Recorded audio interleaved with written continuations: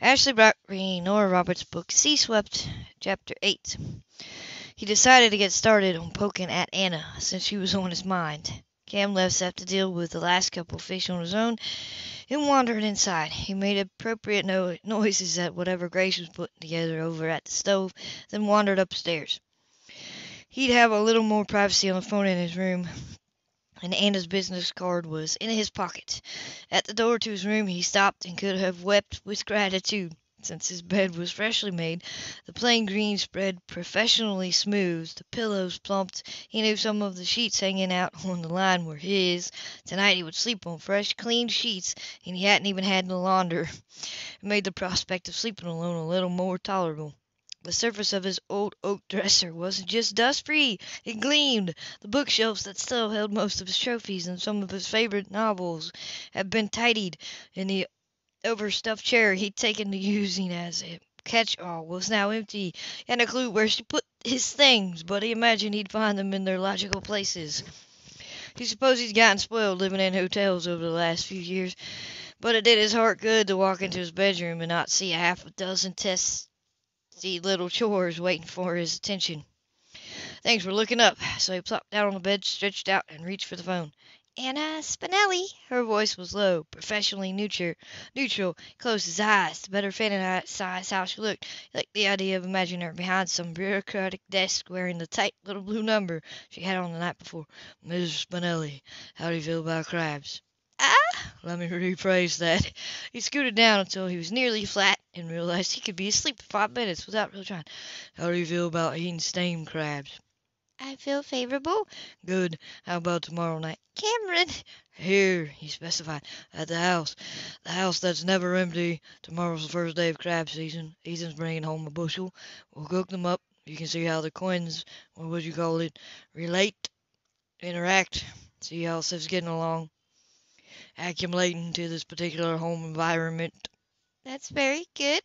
Hey, I've dealt with those workers before. Of course, of course, never one who wore blue heel, high heels, but I was off the clock, she reminded him. However, I think dinner might be a workable idea. What time? Six thirty or what thereabouts. He heard the flap of papers and found himself slightly annoyed as she was checking her calendar. All right, I can do that. Six thirty.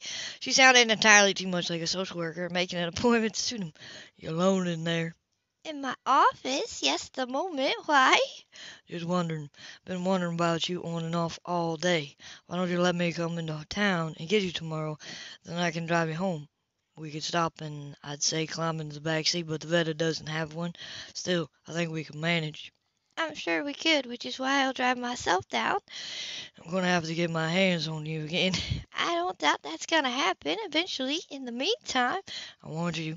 I know, because her voice had thickened, didn't sound quite so prim. He smiled. Why don't I tell you just what I'd like to do to you? I can go step by step. You can even take notes in your little book for future reference. I think we'd better postpone that, though I may be interested in discussing it at another time. I'm afraid I have an appointment in a few minutes. I'll see you and your family tomorrow evening. Give me ten minutes alone with you, Anna. He whispered it. Ten minutes to touch you. I. We can try for that time frame tomorrow. I have to go. Goodbye. Bye. Pleased that he rattled her, he slid the phone back on the hook and let himself drift off into a well-deserved nap. He was wakened just over an hour later by the slamming of the front door. Philip's raised and furious voice. Home sweet home. Cam muttered and rolled out of bed. He stumbled to the door and down the hall to the steps. He was a lousy napper whenever he indulged. He woke up groggy, irritable, and desperate, desperate of coffee. By the time he got downstairs, Philip was in the kitchen, uncorking a bottle of wine. Where the hell is everybody? Philip demanded. I don't know. Get out of my way. Rubbing one hand over his face, Cam poured the dregs of the pot into a mug, stuck the mug in the microwave, punched numbers at random. I've been informed by the insurance company that they're holding the claim until such thing, such time as an investigation is complete. Cam stared at the microwave. Those endless two minutes have passed so he could gulp caffeine. His blurry brain took an insurance claim investigation and could correlate the terms. Huh? Pull yourself together, damn it. Philip gave him an impatient shove. They won't process Dad's policy because they suspect suicide. That's bullshit. He told me he didn't kill himself. Oh, really? Sick and furious, Philip still managed to raise an ironic arm. Did you have this conversation with him before or after he died? Cam caught himself. Red nearly, nearly flushed. Instead, he cursed again he opened the microwave. I mean, there's no way he would have, and they're just stalling because they don't want to pay off. the point is, they're not paying off at this time. The investigators been talking to people, and some of those people were apparently delightedly to tell, delighted to tell them the semi similar details of the situation. And they know about the letter from Seth's mother, the payments Dad made her. So, he sipped coffee, scolded the roof of his mouth, and swore. How was it? Let them keep their fucking blood money. It's not as simple as that. Number one, if they don't pay, it goes down to dad committed suicide. Is that what you want? No. Cam pitched the bridge of his nose to try to relieve some of the pressure that was building. He lived most of his life without headaches, and now it seemed he was plagued with them. Which means we'd have to accept their conclusion, or we'd have to take them to court to prove he didn't, and it'd be one hell of a public mess. Struggling to calm himself, Philip sipped his wine. Out of the way, it smears his name. I think we're going to have to find this woman, Gloria DeLauter. After all, we have to clear this up. What makes you think finding her, talking to her, is going to clear this up? We have to get the truth out of her. How? Through torture? Not that it didn't have its not that it didn't have its pill. Besides, the kid's scared of her. Came at it. She comes around, she can screw up the guardianship. And if she doesn't come around, we might never know the truth, all the truth. He needed to know it, Phil thought, so he could begin to accept it. Here's the truth as I see it. Cam slammed his mug down. This woman was looking for an easy mark and figured she'd found one. Dad fell for the kid, wanted to help him, so he went to bat for him, just the way he did for us. And she kept hitting him up for more. Figured he was upset coming home that day, worried, distracted. He's driving too fast, misjudged, lost control, whatever. That's all there is to it. Life's not as simple as you live in it, Cam. You don't just start in one spot and finish in the other as fast as you can. Curves and detours and roadblocks. You better start thinking about them. Why? That's all you have ever think about. And it seems to me we're ended up in exactly the same place. Philip let out a sigh. It's hard to argue with that, so he decided a second glass of wine was in order. Whatever you think. We've got a mess on our hands, and we're going to have to deal with it. Where said, I don't know where he is. Around. Christ, Cam. Around where? You're supposed to keep an eye on him. I've had my eye on him all damn day. He's around. He walked to the back door, scanned the yard, scratched when he didn't see that. Probably around front. Or taking a walk or something. I'm not keeping the kid on a leash this time of day he should be doing his homework. You've only got to watch him out for him on your own a couple of hours after school. It didn't work out that way today. There's a little holiday from school. He hooked? You let him hook when we've got social services sniffing around? No, he didn't hook. Disgusted, came to him back. Some little jerk at school kept wrestling him, poking bruises all over him, called him son of a whore. Philip's stance shifted immediately from mild annoyance to righteous fury. His guilt glint eyes glittered in his mouth. What little jerk? Who the hell is he? Some fat-faced kid named Robert. Seth, Seth slugged him. They said they were going to suspend him for it. Hell, they are. Who's the hell's principal now? Some Nazi? Cam had to smile. When push came to shove, you could always count on Philip. Sure didn't seem to be after I went down after I went down and we got the whole story out of Seth, she shifted ground some. I'm taking him back in tomorrow for another little conference. Now, Philip grinned. Why don't we? You, Cameron, kick-ass Quinn, is going in for a parent conference at the middle school. Oh, to be a fly on that one. You won't have to be because you're coming too. Philip swallowed wide hastily before she, What do you mean? I'm coming. And so's Ethan. Cam decided on the spot. We're all going. United front. Yeah, that's just the way it's going to be. I've got an appointment. Break it. There's the kid. He spotted Seth coming out of the woods with Foolish beside him. He's just been fooling around with the dog. Ethan ought to be along in a minute, and I'm tagging him for this deal. Philip scowled into his wife. I hate it when you're right.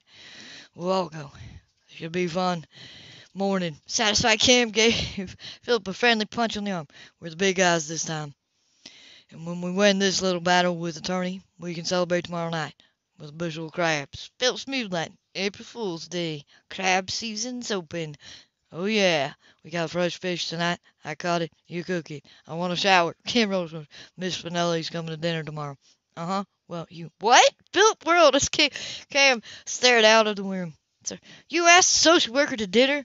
Here? That's right. Told you I like her looks. Philip can only close his eyes. For God's sake, you're hitting on the social worker? She's hitting on me, too. Flashgun. I like it. Cam, not to put down your warped idea of romance, but use your head. We've got this problem with the insurance company. We've got a problem with Seth School. How's that going to play to social services? We don't tell them about the first, and we give them the straight story on the second. I think that's going to go over just fine with Miss Spinelli. She's going to love it that the three of us went to stand for Seth. Philip opened his mouth, reconsidered, and nodded. You're right, that's good. And as the new thoughts began to play, he angled his head. Maybe you could use your influence on her to get her to move this case study along. Get the system out of her hair. Can't said nothing for a moment. Surprised at how angry even the suggestion of it made him. So his voice was back. I'm not using anything on her, and it's going to stay that way. One situation has to do has nothing to do with the other. Let's stay in that way too. When Cam started off, Philip pursed his lips. Well, he thought, wasn't that interesting? As Ethan guided his boat through the dock, he spotted Seth in the yard. Beside Ethan, Simon gave a high, happy bark. Ethan for, yeah, fella, almost home now. While he worked the sails, Ethan watched the boy toss sticks for the pup. There had always been a dog in this yard to chase sticks or balls, to wrestle in the grass with. He remembered Dumbo, the sweet-faced retriever he'd fallen mad in love with when he come to the Quinns. He'd been the first dog to play with, to be comforted by in Ethan's life. From Dumbo he learned the meaning of unconditional love. Had certainly trusted the dog long before he trusted Ray and Stella Quinn, or the boys who became who became his brothers. He imagined Seth felt much the same. You can always depend on your dog. When he come home all those years ago, damaged in body and soul, he had no hope that his life would really change. Promises, reassurance, decent meals, and decent people meant nothing to him, so he considered ending that life. The water jarred him even then. He imagined himself walking out into it, drifting out until it was over his head. He didn't know how to swim then, so it would have been simple, just sinking down and down and down until there was nothing. The night he slipped out to do it, the dog would come with him, licking his head, pressing that warm, furry body against his legs, and Dumbo had brought him a stick, tail wagging, big brown eyes hopeful. First time Ethan threw the stick high and far, and in a fury, in a fury, the Dumbo chased it happily and brought it back, tail wagging, threw it again, then again, then dozens of times. Then he just simply sat down on the grass and in the moonlight cried his heart out, clutching the dog like a lifeline. The need of end need to end it had passed. Dog, Ethan thought now as he rubbed a hand over Simon's head, could be a glorious thing. He saw Seth turn, catch sight of the boat. There was the briefest of hesitation, and the boy lifted a hand in greeting, and with the pup raced to the dock. Secure the lines, mate. Aye, aye, Seth handled the lines. Handled the lines, Ethan tossed out completely, enough slipping the loop over the post. Cam said how you'll be bringing crabs tomorrow. Did he? Ethan smiled a little, pushed back their full cap. Thick brown hair tickled the collar of his work stanger. Go on, boy, he murmured to the dog. He was sitting, vibrating in place as he waited for the command to abandon ship. With a celebrational bark, Simon leaped into the water and swam to shore. As it turns out, he's right. Winter wastes. Winter wasn't too hard, and the water's warming up. We'll pull in plenty. Should be a good day. Leaning over the side, he pulled up a crab pot that dangled from the dock. No winter hair. Hair? Why would there be hair in an old chicken wire box? Pot. There's a crab pot. If I pulled this up and it was hairy, full of blonde seaweed, it's mean the water was too cold yet for crabs. Seen them that way nearly until May. There's been a bad weather, winter. That kind of spring is hard to make a living on the water. But not this spring, because the water's warm enough for crabs. Seems to be. You can bake this pot later, chicken necks or fish parts to do the job fine. In the morning we may just find us a couple of crabs sulking inside. They fall for it, every time. Seth knelt down, wanting a close look. That's pretty stupid. They look like big ugly bugs, so I guess they're bug dumb. Just more hungry than smart, I'd say. And Cam says you boil them alive. No way, I mean those. Search yourself. Me, I figure I'm going through about two dozen come tomorrow night. He let the pot slip back in the water, then leaped expertly from boat to dock. Grace was here. She cleaned the house and stuff. Yeah, You imagine the house would smell like Leah Fleming. Grace's house always did. Cam kissed her right on the mouth. Ethan stopped walking. Looked down at Seth's face. What? Smackaroo! It made her laugh. It was like a joke, I guess. Like a joke. Sure. He shrugged and ignored the hard, sick ball in his gut. None of his business who Grace kissed. Nothing to do with him. But he found his jaw clenched when Cam, air dripping, stepped out of the back porch. How's, how's the crab business look? It'll do. Ethan said shortly. Cam lifted his brows at the tone. What? Didn't one curl out of the pot early and up your butt? I want a shower and a bear. He said move past him and into the house. Woman's coming for dinner tomorrow. That stopped Ethan again, and he turned, keeping the screen door between them. Who? Anna Spinelli. Shit! Was Ethan's only comment as he walked away. Why's she coming? What does she want? Panic rose up inside Seth like a fountain, spewed out in his voice before he could stop it. She's coming because I asked her. She wants a crab dinner. Cam tucked his thumb in his pockets, rocked back on his heel. Why the hell was he the one who always had to handle this white-faced fear? I figure she wants to see if all we do around here is fart and scratch and spit. We can probably hold off on that for one evening. You gotta remember to put the toad seed down, though. Women really hate when you don't. They'll make it a social and political statement if you leave it up. Go figure. Some of the tension eased out, Sophie. So she's just like coming to see if we're slobs, and Grace cleaned everything up, and you're not cooking, so it's mostly okay. I'll be more than it'll be more than mostly if you watch that foul mouth of yours. Yours is just as foul. Yeah, but you're shorter than I am. And I don't intend to ask you to pass the fucking potatoes in front of her. Seth snorted at that, and his hard shoulder like, Are you going to tell her about that shit in school today? Cam blew out of breath. Practice find an alternative word for shit just for tomorrow night. Yeah, I'm going to tell her what happened in school, and I'm going to tell her that Phil Houston and I went in with you tomorrow to deal with it. This time all Seth could do was me. All of you? You're all going? That's right. Like I said, you mess with one Quinn, you mess with them all. It shocked and appalled and terrified them both when tears sprang to Seth's eyes. They swam there for a minute, blurring that deep bright blue. Instantly, both of them stuck their hands in their pockets, turned away. I have to do something, said Gropin. You go, wash your hands or whatever, We'll be eating pretty soon.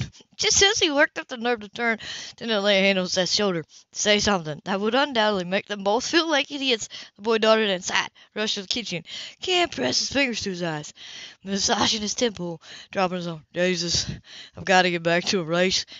Want to know what I'm doing? He took a step toward the door and stood, his head walked quietly away from it. He didn't want to go inside with all that emotion. All that need thrown in the air. God, what he wanted was his freedom back. To wake up, find it had all been a dream. Better to wake up in some huge, enormous hotel bed in some erotic city with a hot, naked woman beside him.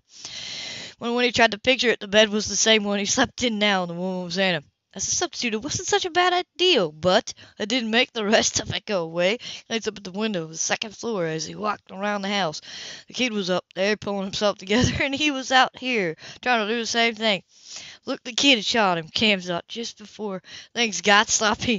It had stirred up his gut. He had sworn he'd seen trust there, and pathetic, almost desperate gratitude that both humbled and terrified him. What the hell was he going to do with it? And when things settled down and he could pick up his own life again, that had to happen. He sure himself had to. He could stay in charge like this, couldn't be expected to live like this forever. Places to go, races to run, risks to take. Once they had everything under control, once they did what needed to be done for the kid, got this business Ethan wanted established, he'd be free to come and go as he pleased again. A few more months, he decided. Maybe a year. When he was out of here, no one could possibly expect more from him. Not even himself. End of chapter 8.